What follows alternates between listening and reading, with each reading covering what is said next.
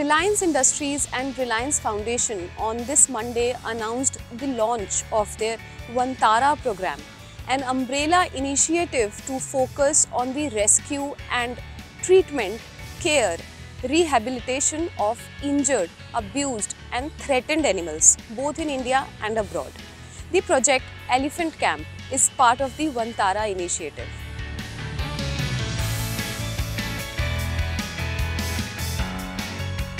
Vantara has given a second lease of life to thousands of animals. One of them is Leelavati. The elephant suffered severe burn injuries when she was trapped during a circus fire just before the COVID 19 pandemic. She was rescued and moved to the elephant camp in Vantara, where she has been nursed back to health. For several hours every day, Leelavati's Mahout administers medical oxygen on her burn wounds at the hyperbaric oxygen therapy at the Elephant Hospital. A majority of her burns have healed and only a small portion remain to be treated. Leelavati is one of 200 elephants that are cared for 24 7 by a specialized and trained staff of more than 500 people. These include vets, biologists, pathologists, nutritionists, and naturalists. Vantara has also rehabilitated 450 mahouts from across the country to care for the elephants.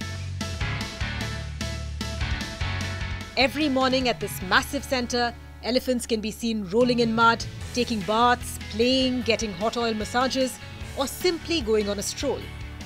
The Elephant Hospital has scientifically designed day and night enclosures, hydrotherapy pools, and a large jacuzzi for treating arthritic elephants.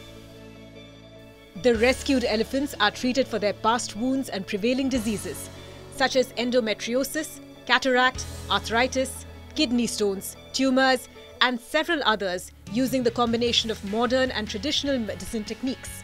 The facility is equipped with portable X-ray machines, laser devices for various treatments, a complete pharmacy, a pathology laboratory for diagnostic tests, an imported elephant restraining device for precise diagnosis, hydraulic pulleys and cranes, a hydraulic surgical table tailored specifically for the elephant's needs. Nutritionists design daily diets that are carefully prepared as per the medical condition of each elephant.